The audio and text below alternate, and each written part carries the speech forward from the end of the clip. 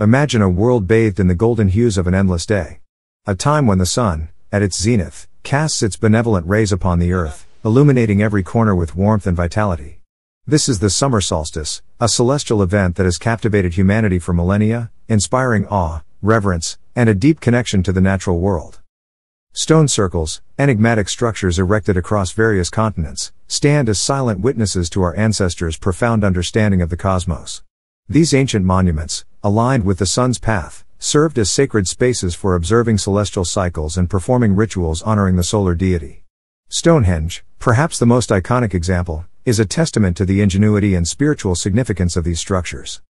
Solar myths, woven into the tapestries of countless cultures, celebrate the sun as a life-giving force.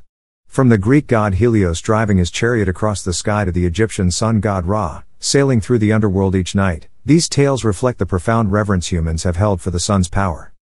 Pagan rituals, rooted in pre-Christian traditions, continue to be practiced by many today as a way to connect with nature and celebrate the sun's return to its peak.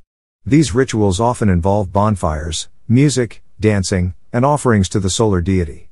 The summer solstice, as a time of abundance and renewal, is a particularly auspicious occasion for such celebrations.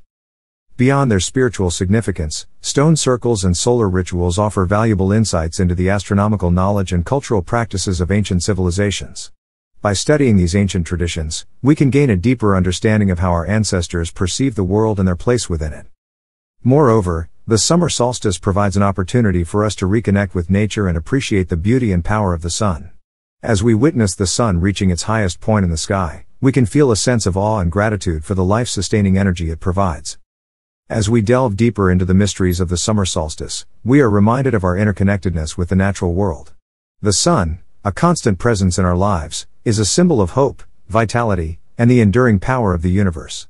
By understanding the significance of this celestial event and honoring the traditions associated with it, we can deepen our own spiritual connection and find solace in the rhythms of nature. What are your thoughts on the summer solstice? Have you ever participated in a solar themed ritual or visited a stone circle? Share your experiences and insights in the comments below.